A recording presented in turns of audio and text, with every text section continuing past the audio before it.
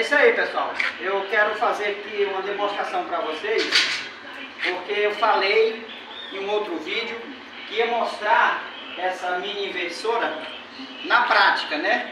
Eu apresentei ela para vocês e está aqui hoje eu soldando. Ó. Isso aqui é uma grade de proteção de porta, nós estamos aqui com proteção também de janela.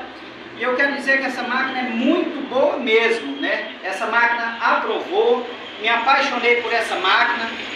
Essa é a Bambose, ó, a serralheira 250 ampere turbo bivolt, né? Então, essa máquina aqui, para quem quer fazer serviço doméstico e trabalhar também assim, para mim é uma máquina muito boa. Gostei, me apaixonei cada vez mais por essa máquina e ela queima muito bem. Nós estamos hoje queimando o eletrodo 2,5, que é o serralheiro E6013. É o 2,5. Queima muito bem, queima o eletrodo também mais grosso de outras marcas. E o nosso trabalho está aqui como vocês estão vendo. Ó. Excelente para esse trabalho. Se eu tiver de comprar outra máquina hoje, uma inversora de solda, comprarei da mesma porque é muito bacana. Então é isso aí que eu queria apresentar para vocês.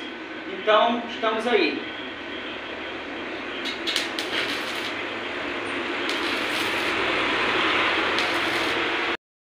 Então pessoal, aí antigamente quando eu trabalhava alguns anos atrás com solda, era aqueles tipo de máquina de solda, olha. Isso é uma transformadora.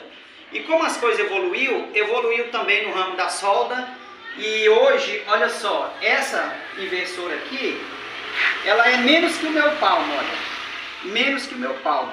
Olha só, ainda sobra dedo para cá. Então foi uma paixão à primeira vista, agora em 2023, estou apaixonado por ela e reativei novamente o desejo de trabalhar com metalúrgica, né, com serralheria.